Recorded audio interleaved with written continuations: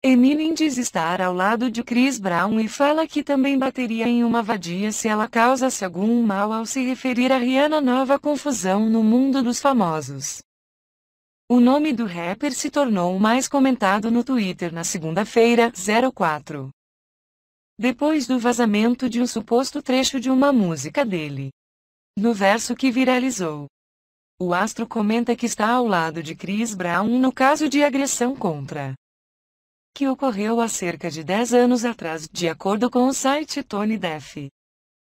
O trecho foi gravado para fazer parte da música Things Get Yours.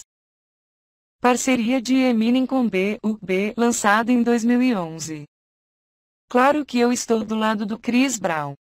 Eu bateria em uma V asterisco asterisco ia também se ela causasse alergia no meu P asterisco. Diz ele na letra da canção.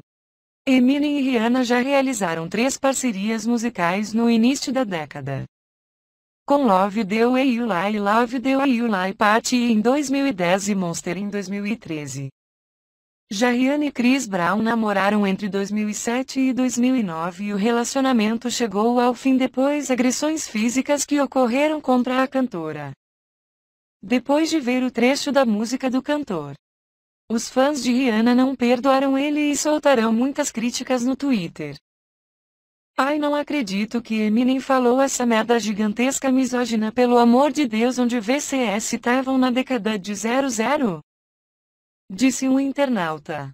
Ai não acredito que Eminem falou essa merda gigantesca misógina pelo amor de Deus onde VCS estavam na década de 00?